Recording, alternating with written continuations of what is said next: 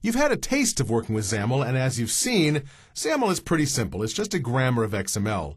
But it does provide several different ways to set property values. We can cover pretty much all of XAML in four basic concepts. We'll look at simple properties and type converters.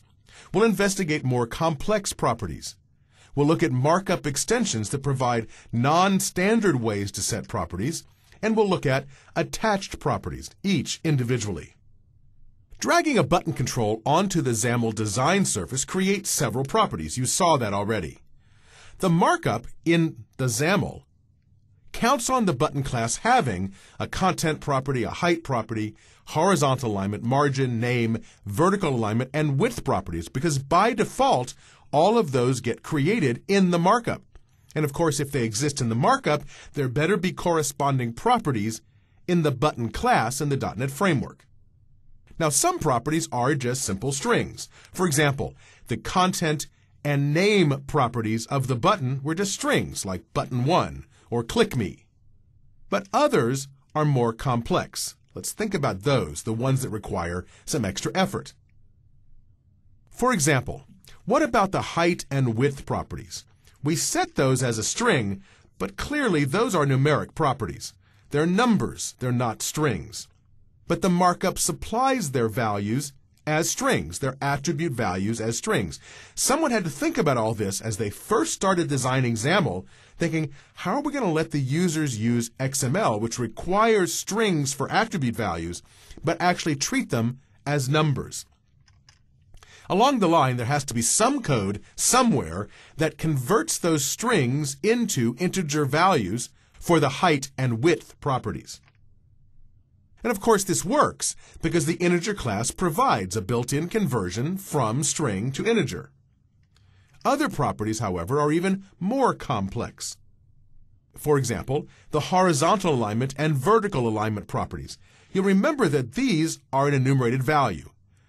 From bottom, center, stretch, or top, center, left, right, or stretch, to some enumerated number, a numeral value, because enumerations are stored internally as some sort of number. So we need to convert from a string, the letters B, O, T, T, O, M, to a number which corresponds to that enumerated value. Someone somewhere is doing that for you. Let's look at the margin property. It adds its own set of issues. For the margin property, you can supply a single value, and that applies to all four sides. You can supply just two values. You haven't seen that yet, but you can. If you supply just two values, the first value applies to the left and right margin, and the second value applies to the top and bottom margin. You can also supply four different values, and in that case, they supply the left, the top, the right, and the bottom margins individually. How can this be? Who's taking those four comma delimited values and converting them into something that can be rendered as a control's margins at runtime? Well, the margin property really represents a thickness structure. A thickness structure in the .NET framework contains four integers. Setting the property in XAML calls the constructor for the thickness structure, and it copies the values you've entered into various properties of the thickness structure. It also converts them from a string into integers. Somewhere there has to be a converter to read that comma delimited list of strings and convert to a call to the constructor for that class. You can create your own type converters as well. This one is built into the .NET framework. And one thing to note, XAML is case sensitive. That is, the name of the property margin has to have an uppercase M. But the values are not case sensitive. So where I used bottom with a capital B, could have used a lowercase b. They would have worked that out just fine. XAML's case sensitive, the values themselves are not. Now, type converters work fine, and there's a bunch of built-in ones, and we could also create our own. But some properties can't be represented by a single value. What if you want to specify the background of a grid control as a linear gradient? You can imagine a gradient which moves from one color to another across the width of the grid. You need to specify both colors. You need to specify at which point we switch from one color to the other. There are a number of different things we need to specify, and we can't represent that behavior with a single value. Properties of elements that are themselves objects with properties, like the linear gradient, require some special care. We'll represent them as nested elements, and we'll name them parent.property, like grid.background. So rather than being attributes, these properties will be represented as elements instead. Let's examine some of the things we've been looking at in Visual Studio. In the markup, I've cleaned up our button so it fills the entire space so I can demonstrate creating a linear gradient background for that button. To do that, I'm going to go to the Properties window and search for Background property. There it is. And if I click on it, it brings up a designer which allows me to set the linear gradient background. You can see I could choose a null brush, a solid color brush, a gradient brush, or an image brush. I want a gradient brush. And now I can specify what color I want in my gradient. And here specify what point we switch over from one to the other. Let me pick a color which actually shows something. I'm not good at this designer. Really, I'm not. Okay. If we set the color, of course I selected the grid, not the button, so I better go delete the button so we can actually see the grid. There we are, and there's our gradient all set up. Now what do we have here? I've set up a linear gradient brush as the background for this grid in our markup. Because the linear gradient brush requires me to specify gradient stop elements, which indicate where within the layout from left to right of this linear gradient, I want the colors to change. And you know these colors are awfully hard to see. Let me change this one to be black so we can actually see it, and make this one be white so we can really actually see it. There we go. Not very exciting gradient, but at least you can tell what's going on now. Here, the offset says at around one quarter of the way through this thing, start switching away from black and move toward white. If I change this to zero, you'll see here at zero, we start moving from black towards the other color. And the other color ends at 1, which is the right-hand side. These offsets go from 0 to 1, from the left-hand side to the right-hand side. And you can change these to be any value you like within 0 and 1. So if I want to make this 0.25 and make this one be 0.75, then you can see that at 0.75, that's three quarters of the way across, we have complete white. We have complete black up to one quarter of the way across, and in between we have the gradient that goes from black to white. That doesn't matter here. You can investigate linear gradients. My point was to show that we had to use this grid dot background layout in the markup because this is a complex property.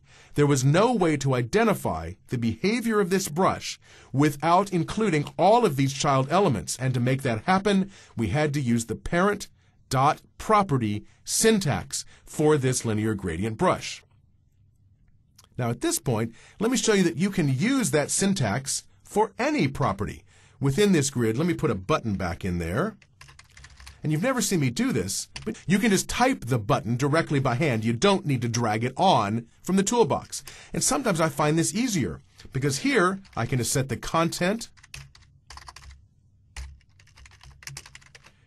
and the name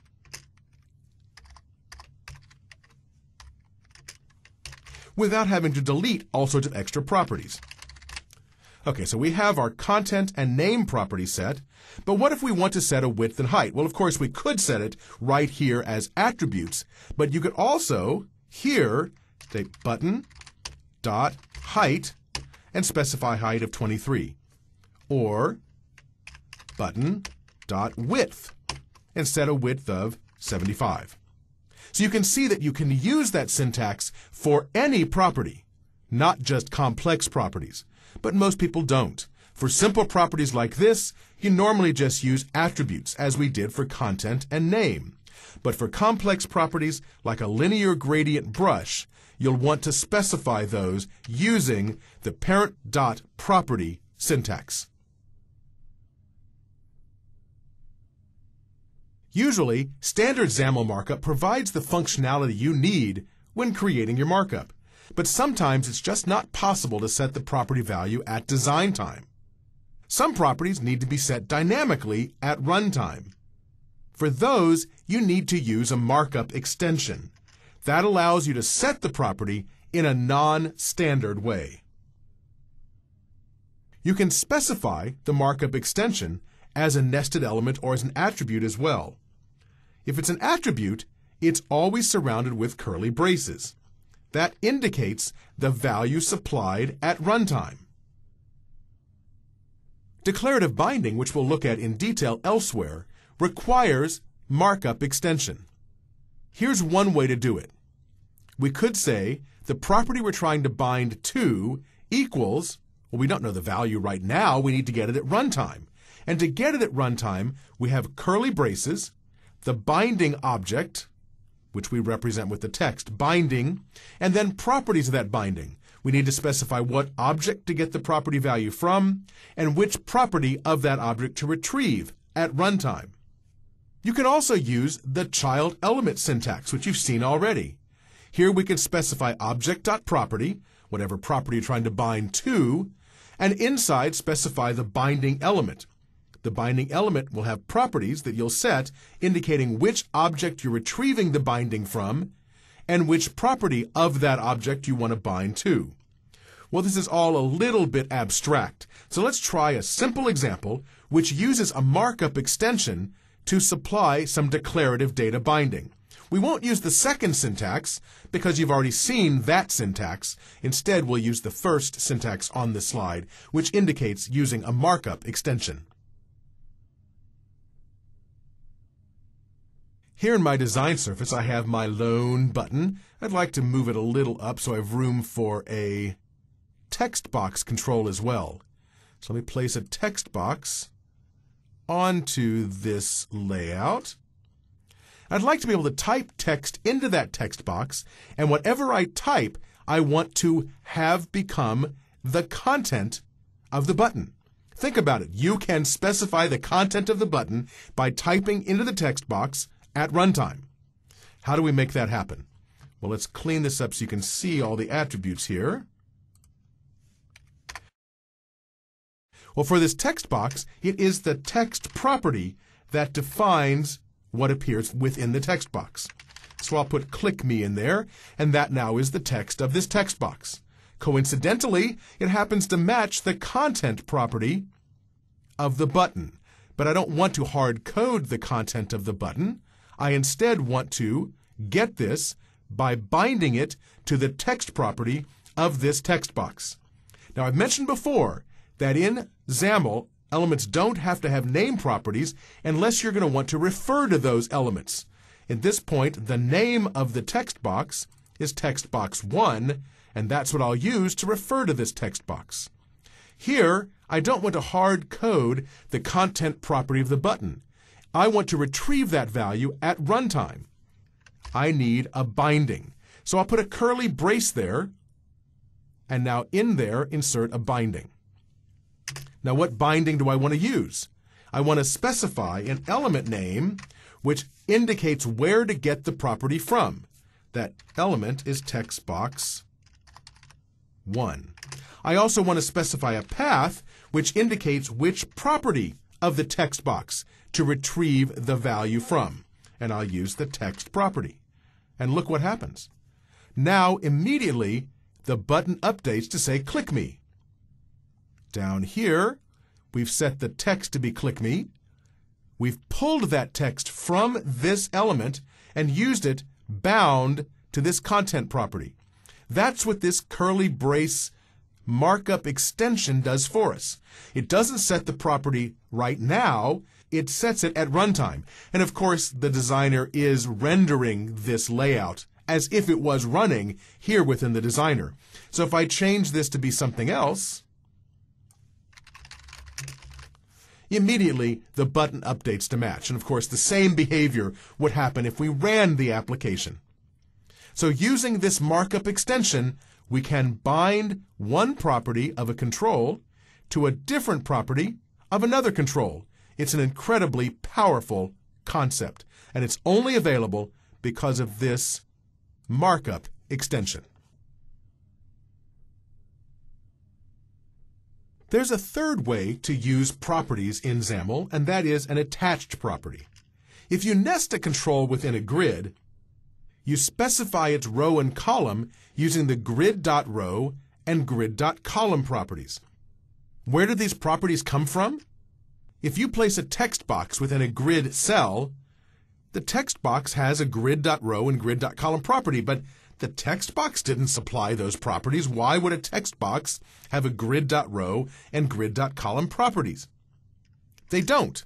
The grid control adds those to all of its child controls. In other words, they're attached properties. They get attached to the child control by the parent control. The properties appear as if they were properties of the text box class or whatever the child control is, but they're actually defined in a different class, that is, grid in this case. They have a very specific syntax. The syntax is defining type dot property name grid dot row grid dot column. They aren't actually properties of the child control. They aren't actually properties of anything. The compiler converts them to method calls on the parent object.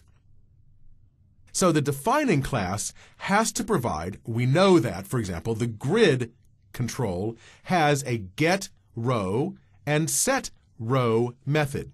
So when you use the grid.row property, the compiler converts it to a method call to get or set the row property on the grid. So the grid must supply a grid.getRow and grid.setRow method to get and set the value of those properties for the particular child control. This technique hides what's really going on. You're calling a method in the defining class when you use the grid.row or grid.column property.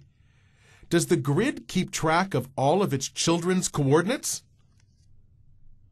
Of course, the grid doesn't have any data structure that keeps track of all of the children's coordinates. That'd be silly. The child controls all inherit from dependency object. I'm getting to the point here, really. All of the controls that you can place in the grid or any other container all inherit from dependency object. And this class is defined to maintain an unlimited number of dependency properties. The dependency object class has a data structure which maintains properties for every class that inherits from it. The parent, the grid in this case, maintains a single instance of a field for each property. That means the grid has a row field and a column field. There's a grid.row property, if that's the actual name, for the grid.row property, and there's a grid.column property for the grid.column the child control maintains its own value for that property. So, calling the parent controls get row or get column or set row or set column method is equivalent to calling the get value or set value method of each child object. So the child is keeping track of its row and column. Isn't this complicated? It's amazingly complicated, but it's important to understand what's going on. And to retrieve the grid.row property of a text box, whose name is demo text box, you might use an expression like this. Demo text box get value, that's the method of the text box, and you pass it grid.row property. Remember, the grid has a single field named row property that you're using only to pass down to the dependency object's get value method to get the value of that property for this control. So that's how every child control within a container that has attached properties gets the value of that attached property. We'll see code like this in a future example where we retrieve the value of that grid.row property in code. This is just the syntax, not exact code. In a future example, we'll see how that works.